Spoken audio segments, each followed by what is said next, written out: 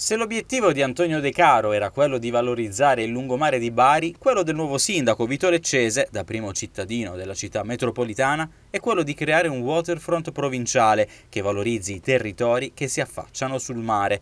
Punto di partenza è il riconoscimento di Costa Ripagnola come patrimonio dell'umanità dell'UNESCO.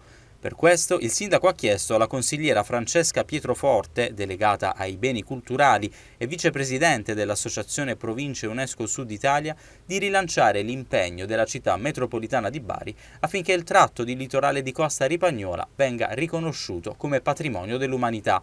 Nei giorni scorsi il Consiglio metropolitano aveva approvato la decisione che attribuisce al parco una valenza strategica trasversale, prevedendo l'inserimento del progetto come passaggio funzionale alla creazione della rete dei parchi della città metropolitana. Il tratto di costa tra Cozze e Polignano testimonia l'antica interazione tra uomo e ambiente, custodendo la relazione che si è sviluppata nel corso del tempo tra i diversi tipi di terreno e la varietà delle coltivazioni. Il riconoscimento UNESCO, ha spiegato il sindaco della città metropolitana Vito Leccese, rappresenterebbe un passaggio importante per assicurare la tutela, la conservazione e la valorizzazione del patrimonio culturale e naturale in esso contenuto.